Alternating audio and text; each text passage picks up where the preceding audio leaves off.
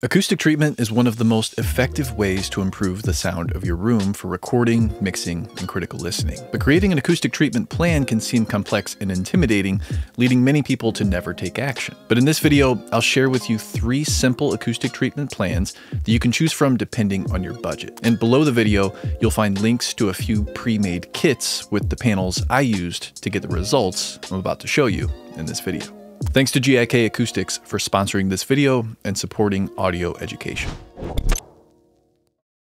Not only does GIK make great acoustic panels, but they also have a YouTube channel with educational videos about acoustics, making them a perfect partner for creating videos like these. Check out their website to get custom advice for how to optimize the acoustics of your room using the link below. The acoustic treatment strategy you choose will depend on how you intend to use your room. If you know the position of the speakers and the listening position, such as in a mixing room, you can optimize the treatment plan for that scenario. However, if you only know the position of the speakers, but the listening position will change throughout the room, such as in a home theater, you'll have more variables to account for acoustically, and you'll have even less predictability in a tracking room with various instruments and microphones positioned differently every session. I'll be operating under the assumption that you want a room for mixing, producing, and recording audio for music, but regardless of which type of room you're treating, the tips and examples in this video will be very helpful. The first thing I'd recommend addressing with your acoustic treatment plan is the problem of early reflections. When sound comes out of your speakers, some will go directly to the listening position, this is direct sound, some will reflect off of walls, floors, and ceilings before reaching the listening position. This is indirect sound. Early reflections are the indirect sounds that take the shortest pathway from the speaker to the listener. In an empty rectangular room, there are six surfaces, four walls, a ceiling, and a floor. When sound goes outward in all directions from the speaker, it will reflect off of each of these surfaces and back to the listening position. If these indirect reflections and direct sound from the speakers were all synchronized in time, everything would just get a little louder. However, each indirect pathway is a different distance, creating a scenario where multiple copies of the same signal converge with a slight delay between them, resulting in phase interference and comb filtering. Here's a quick and extreme example of how this might degrade the quality of a sound. Here's what this song should sound like.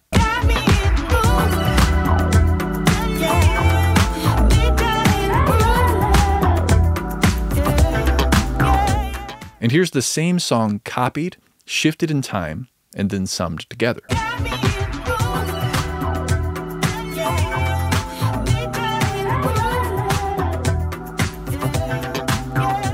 Now, we don't necessarily need to treat every bit of surface area in the room in order to treat these early reflections. If there is a defined listening position in the room, we can simply use a mirror along the surface of the walls or ceiling to identify the location of each reflection. Just have a friend move the mirror along the wall until you can see the speaker reflected in the mirror.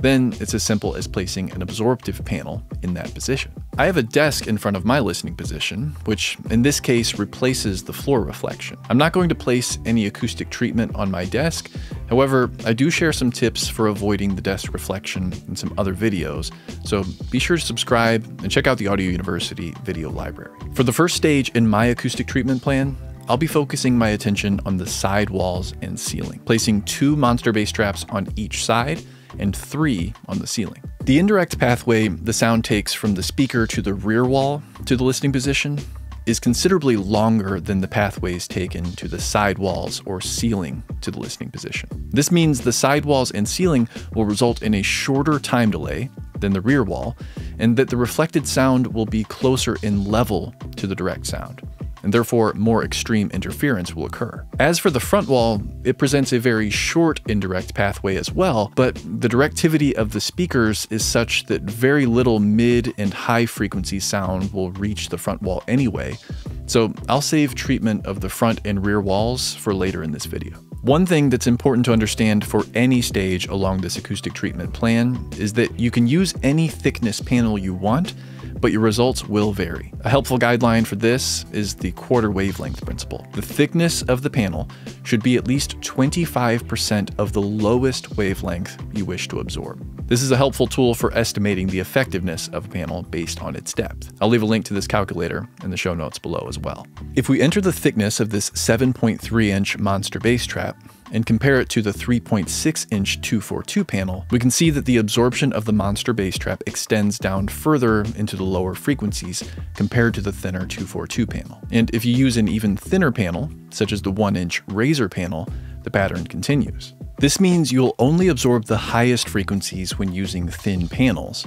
For music, because there's energy throughout the frequency spectrum, this could exacerbate problems in the mid range by absorbing the higher frequencies while just allowing the lower frequencies to reflect. While treating the early reflections will help a lot, there will still be longer reflections off of the remaining untreated surfaces in the room. These longer reflections will have traveled more distance and will have interacted with more surfaces by the time they reach the listening position. Therefore, absorption throughout the room is not so much a solution for comb filtering, but more so an attempt to control the reverberation time within the space.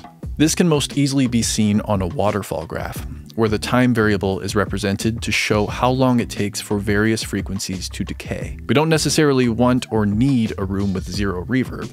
A natural amount of reverb is okay and is actually preferred by many people for some applications. In fact, an overly dry room can sound unnatural and dark.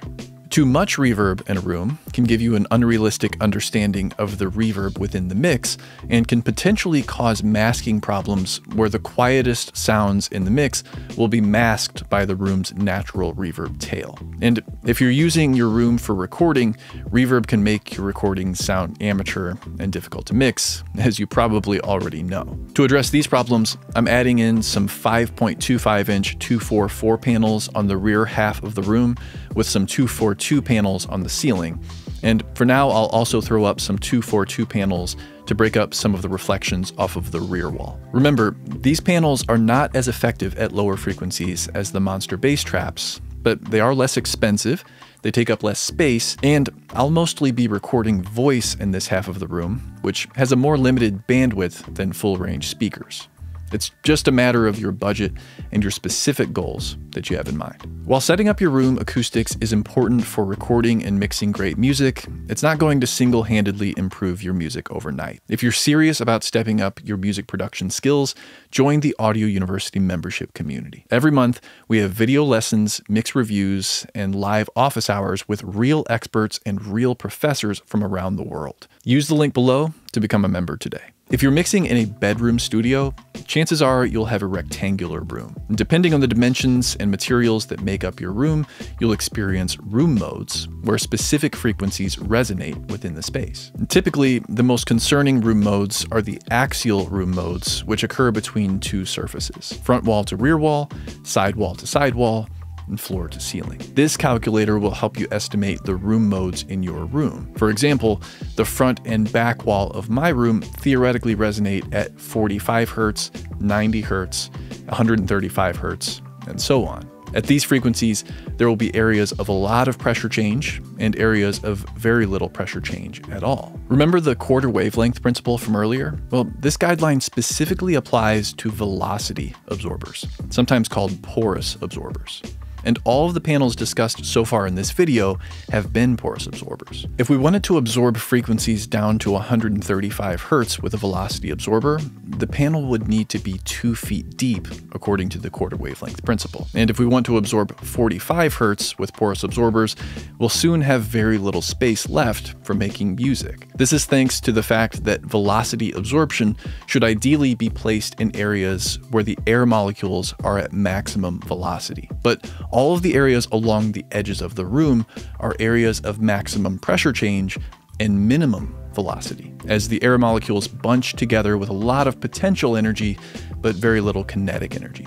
Lower frequencies with longer wavelengths will require thicker porous absorption panels in order to significantly interfere with the velocity of the air molecules as they oscillate with the sound wave. For the very lowest frequencies, this just isn't practical, so we often use the thickest possible panels we can and accept that we'll never truly reach perfection as I've done here in my room. Putting soffit traps in the corners is a good way to maximize the depth of a panel in two dimensions without sacrificing too much useful space, because they're 17 inch squares that can be stacked in a wall to wall corner or laid down horizontally in a floor to wall corner. These 10 inch sound blocks I've got on the back wall with an air gap behind them are incredibly effective for the purpose of low frequency absorption, and I've got a bit more help up here with these 6 inch alpha panels on the front wall. You'll notice these white faceplates on each of these panels.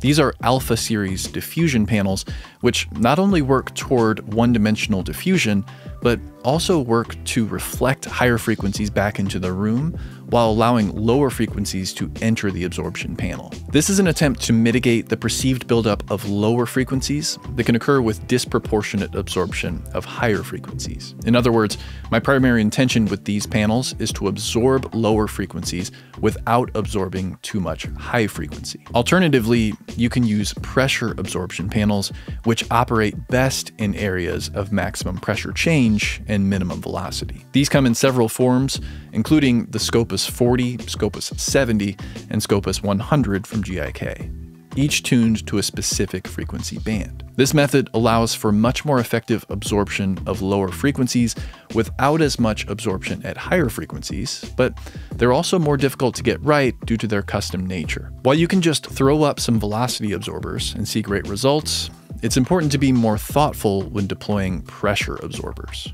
But in either case, it's nice to talk it over with an expert. So check out the links below the video to start your acoustic treatment plan. In the next video that's on your screen now, I'll talk more about acoustic panel thickness and why it's so important.